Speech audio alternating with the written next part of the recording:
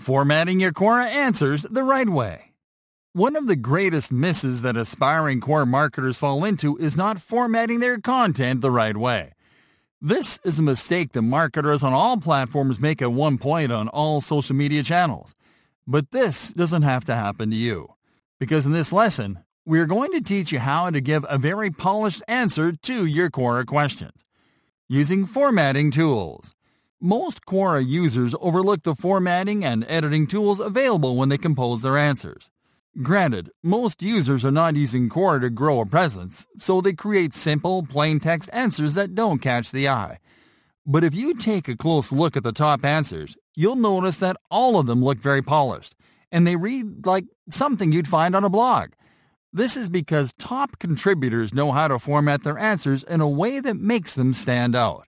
And it all comes down to using the formatting at your disposal when you click on Answer to open the editing window. Open with a headline. A very effective way to make your answers resemble a blog post is by adding a headline at the very beginning.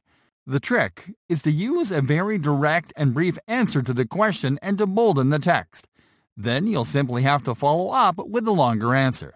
This has the effect of forcing readers to stop by when they see your answer. This also helps your answer stand out when you're not the first to reply, because of the same effect. Use spacing. Another way to make your answers look more attractive is by using spacing to mimic the textbook format. What you'll do is to separate your text into paragraphs. The length of each paragraph will vary according to the length of your answer. For instance, if you're giving a long form answer, you should type the opening text into a paragraph, and to develop the answer into a single longer paragraph, and then to close with a third short paragraph. Your answers will look more organized this way, and they'll read like an excerpt from a book. Use subheadlines. If you're composing an answer where you cover multiple ideas or topics, it is a good strategy to use a headline for each idea or topic you discuss. This is easy enough, and all you have to do is to compose a single line of text with the idea or topic keyword, to bolden it, and then to develop the idea below the headline. Using headlines will let you format your answers like list articles, which are easier to read than long form articles with no subheadlines. Use italics and symbols when appropriate. It can be difficult to understand the whole context of an answer when you only use plain text. Because of this, it is necessary that you use italics and symbols such as quotes and symbols when appropriate.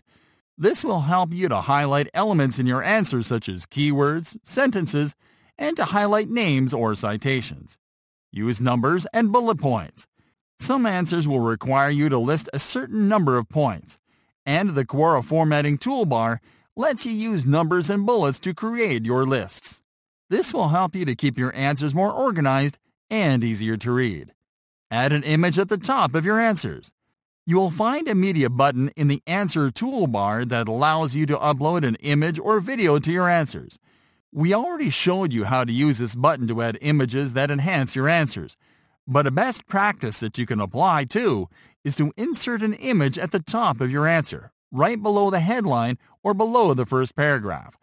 This image will appear as a thumbnail when users see your answer in their feed, increasing the visual appeal of your posts. Hyperlink to external sources. If you're including links to external sources, it is best that you hyperlink to them in your text than to include them at the end of the answer. What you have to do is to simply highlight the text that makes reference to the content in the link and to use the link button to insert the link right into the text. And that is it. Follow these simple formatting rules and you'll become a top contributor in no time.